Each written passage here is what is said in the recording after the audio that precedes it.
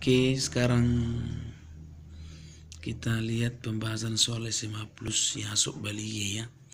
Nah, jadi untuk melihat soal-soal selanjutnya, jangan lupa untuk subscribe channel video saya di Cibang Perdana Tagaul.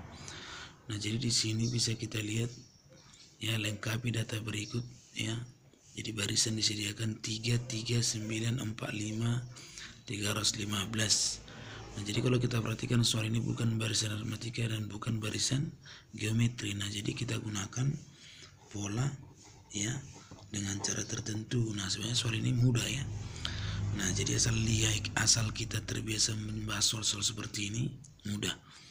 Jadi ini 3 3 9 4 5 kemudian 315 ya. Jadi ini kita kita perhatikan artinya hubungan suku pertama dengan suku kedua ada pasti ya. Ini kali satu kemudian ini kali tiga kemudian ini kali lima kemudian ini kali tujuh. Nah jadi kalau kita perhatikan tingkatannya ini kemari satu ke tiga itu tambah dua.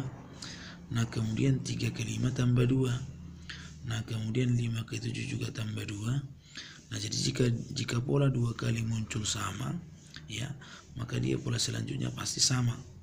Nah berarti ini kali 9 nah 315 dikali 9 maka dia adalah jadi otomatis dia angka 5 karena kali ganjil berarti 28 35 35 jadi optionnya adalah C. Sekian dan terima kasih